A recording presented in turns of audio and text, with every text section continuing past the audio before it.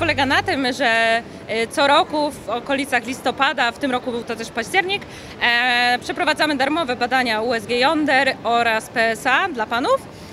I e, teraz jest w Katowicach finał akcji. Cały październik i listopad jeździliśmy po różnych miastach w Polsce. Teraz jest ostatni event. E, w każdy weekend byliśmy gdzie indziej. To jest w kierunku e, wykrycia nowotworu jąder, a PSA to jest w, kierunku wykrycia nowotworu prostaty.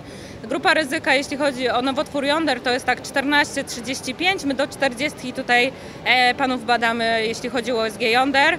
Przy, na każdym evencie tak z jedno, dwa zmiany wykrywamy, więc zawsze się tak trafi. Tak średnio u nas to wychodzi tak jedna zmiana na 300 osób, więc serio warto się badać raz do roku, żeby wiedzieć. A PSA to jest krwi palca, to jest taki przesiewowy test. Po tym teście wiadomo, czy współczynnik PSA jest podwyższony, czy nie. Pewność, wiadomo, spokój.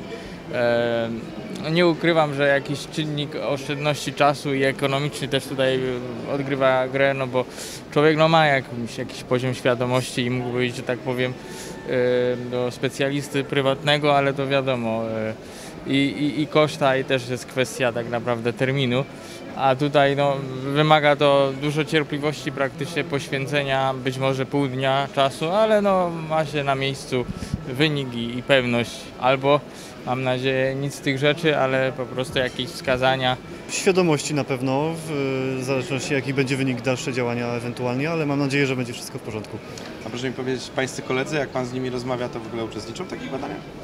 Y, To znaczy, no, zazwyczaj na, y, na co dzień nie rozmawiamy o takich sprawach, ale jak już, to z tego co wiem, to się badają.